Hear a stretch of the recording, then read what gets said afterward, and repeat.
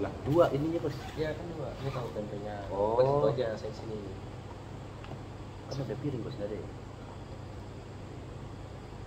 Oke, selamat malam. Assalamualaikum warahmatullahi wabarakatuh. Waalaikumsalam. Ini kita lagi di pinggir kolam nyari makannya susah di sini di Kuala Namu. Bisa beli bapak nih. Nah, ini kebetulan kita gokut. Oh, untung saya pesan lalapan. Oh, timun doang lalapannya ya. Di gambarnya tadi ada daunnya loh. Tapi ya wis lah. Satu kantong timun, kandang timun semua. Dikira kita marmut apa timun lagi. timun lagi. Tahu nih pak. Tempe. 45 menit baru sampai. Begitu sampai warungnya tutup. Karena yang deket-deket tidak halal. Makanannya tidak halal, makanya cari yang pasti-pasti aja. Iya. Enggak, untuk kan saking jauhnya ya Pak ya. Si abang gojeknya nggak lapar di tengah jalan itu nggak dimakan. ah lapar nih. Dia frustasi dia makan sendiri udah lah bodo amat. Saya lihat mapnya itu kan lurus doang gitu kan, lurus tapi itu jauh juga nyampe nyampe. 45 menit jarak nggak ada macet kan jauh Ren. Jauh jauh. Di kota Medan ya ini Pak.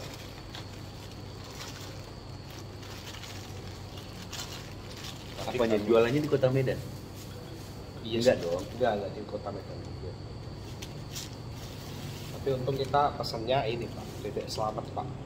Jadi Iya, selamat. dari mana pun tetap selamat ya jangan ah Dimakan enak pakai tangan ini. Kalau duduk begini kaki dinaikin.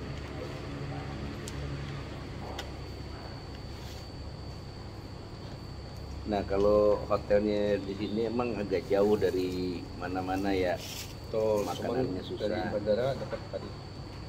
Dari bandara cuman 15 menit. 15 menit udah sampai enak. Terus Kuala- ada ini, ada free shuttle-nya lagi. free shuttle. Oh iya, jadi misalnya di hotel apa nih? Bagus.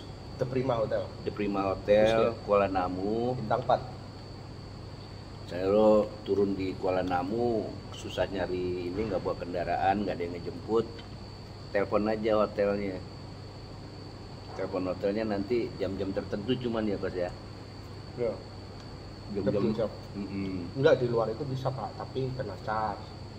Ya, kalau yang free ada jam-jamnya jadi telepon aja. Kayak tadi kita landing jam 2 Jam 2 kita nunggu dulu di bandara karena jadwal dia penjemputan itu jam setengah tiga ya bos ya. Hmm. Jadi setengah jam kita ngopi-ngopi di sono. Untung spotnya enak. Ada kopi apa tadi? Kopi kenangan tuh kita bisa ngopi ngerokok dulu. Nggak kerasa. di Kuala Namu. Nah nanti dijemput sama dia, dijemput itu free itu, pakai mobil gede banget tadi kita cuma berdua doang. Wah,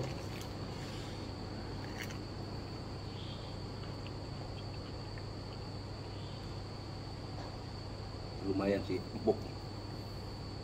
Walaupun 45 menit.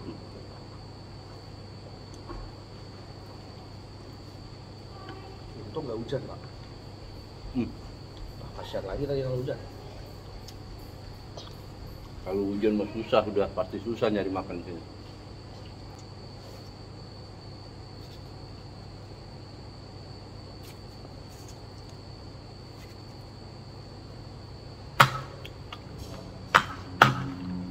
Kalau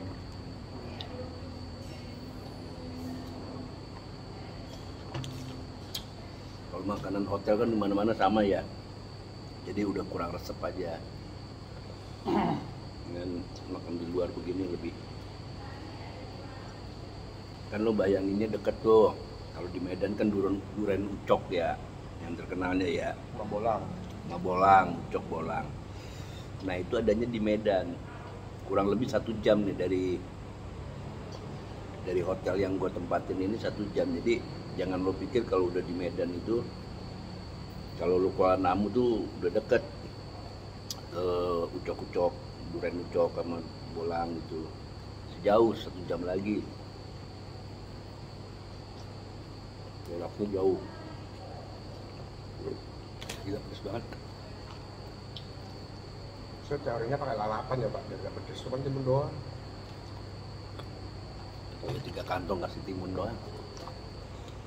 Nah tadi pas saya nunggu mas mas gojeknya kan, Hmm. depan persis itu kan jalan kayak jalan arteri lah ya, gede gitu pak. Depan hotel kita. Dan seberang tuh ada ruko, lampunya nyala gitu, banyak mobil parkir. Nah, Ada orang duduk juga. Saya pikir wah warung nih, katanya. besok bisa makan di sini. Ternyata lagi pada main gaple pak. Wah, itu mah tempat hiburan itu mah Coach. Enggak kayak ruko gitu pak. Hmm. Ruko belum nggak jualan apa apa, cuman mungkin main teman-temannya gitu ya. Nongkrong di situ. Nongkrong di situ main gaple. Hmm. lagi bagi kartu sedikit saya mati gitu kan makan apa apa nih ya bagi kartu dia ada play dia bapak-bapak Nggak ada yang jualan. nggak ada yang jualan Rukonya nggak jualan. oh enggak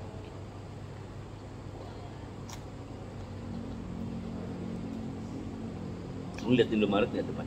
ada Indomaret juga susah. Tadi pesen rokok nih sama tukang gojeknya juga. Karena Indomaret juga susah.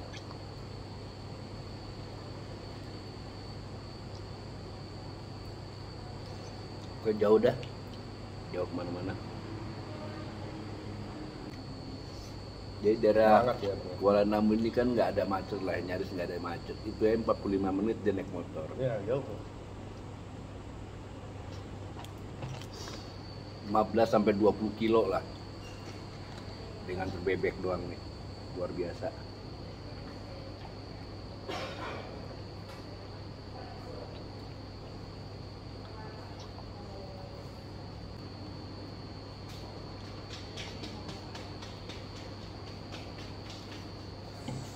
Alhamdulillah.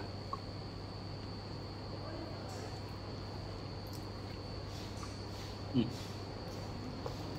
mantap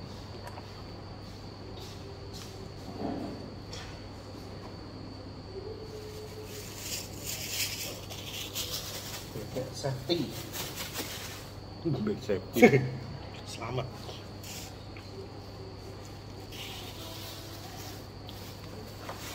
Safety duck. safety duck. Selamat. Banget ya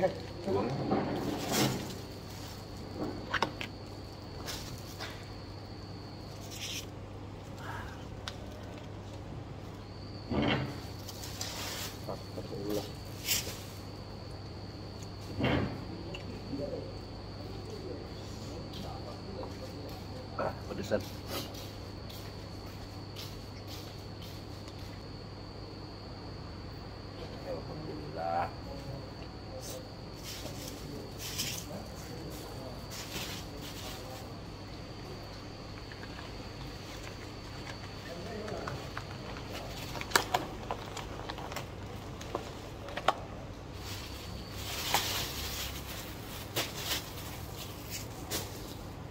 Jadi Bapak Ibu, kebiasaan saya. Kalau saya stay di hotel mana pun ya mau di Nusa Dua, mau di Lombok, mau di Medan, mau di Makassar, mau di di mana aja, saya itu jarang namanya makan menu yang disiapin sama hotel kalau ataupun misalnya gue makan biasanya breakfast. Itu pun paling gue ngambil telur. Kalau ada bubur ayam bubur ayam. Udah cuma itu doang. Bisa dihitung jari lah gue makan di hotel. Justru ketika gue nginep-nginep begini makan gue kayak tadi. Gue pesen di luar. Udah hampir biasanya seperti itu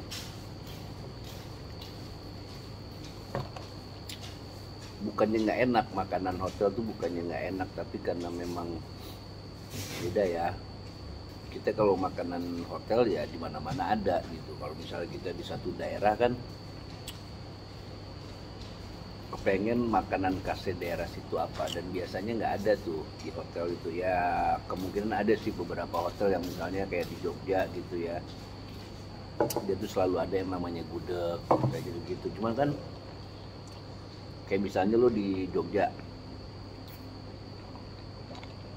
Menunya ada gudeg tapi gudeg yang di hotel itu nggak seasik gudeg yang dijual di luar luar luar hotel. Nah kayak gitulah. Bakso Malang enakan di luar. Kayak tadi pas kita di lounge pak. Ada nasi ayam. Semarang kan itu Iya. Semarang Solo. Tapi ya bisa Enggak. kalau yang di tempat ininya aslinya. Nggak kena. Tadi gua di lunch juga gitu ada ayam ada apa itu yang ngambilnya gudeg kok telur suwir suwiran daging kasih kuah. Nasi ayam bukan gudeg tadi. Oh, nasi ayam ya? Nasi ayam itu tadi. Ya saya pikir udah. juga gudeg tapi nggak ada itunya. Nggak ada nangkanya. Nggak ada nangkanya.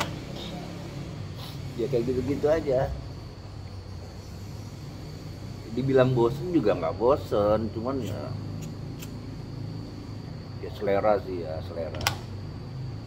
Alhamdulillah ini begini aja udah puas banget nih habis ini ngantuk terus tidur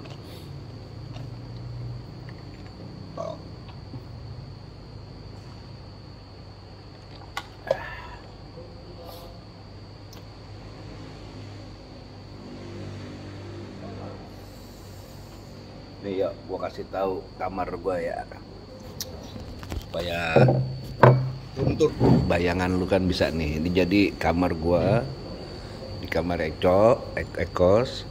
Di terasnya ini ada kolam renang situ. Tadi gua makan di situ. Nah modelnya begini. Makan di situ sini kolam renang. Jadi ini bebas di beberapa kamar. Ini hotel ya. Ini bukan bukan kayak bukan kayak losmen. Ini hotel bintang 4 kalau di sini masuknya di atas tuh ada. Tuh. Jadi kalau lo lihat gini sekilas kayak kayak losmen yuk kita lihat kamarnya ya.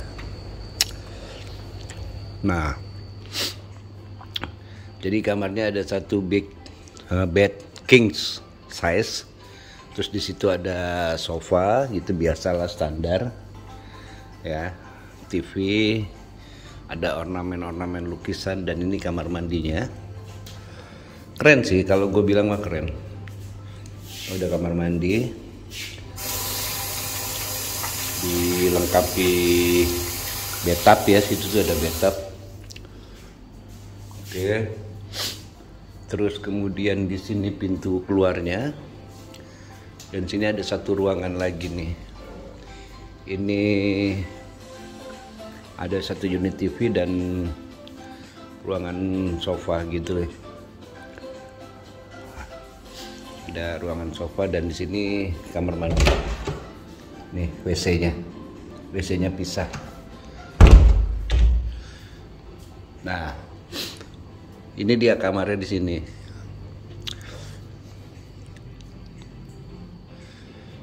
Biasa kerjaan mah nggak boleh ditinggal.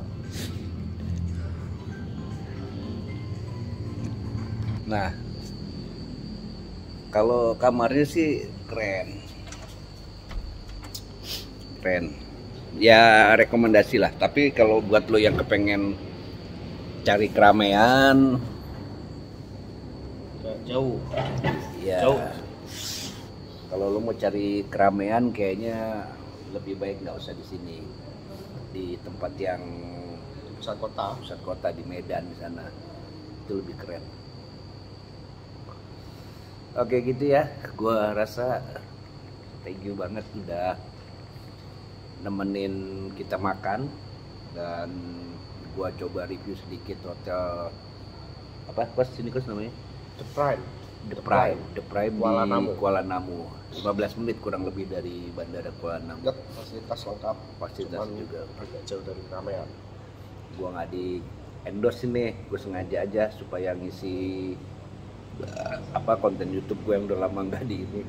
Ekor juga udah lama nggak keluar di YouTube gua.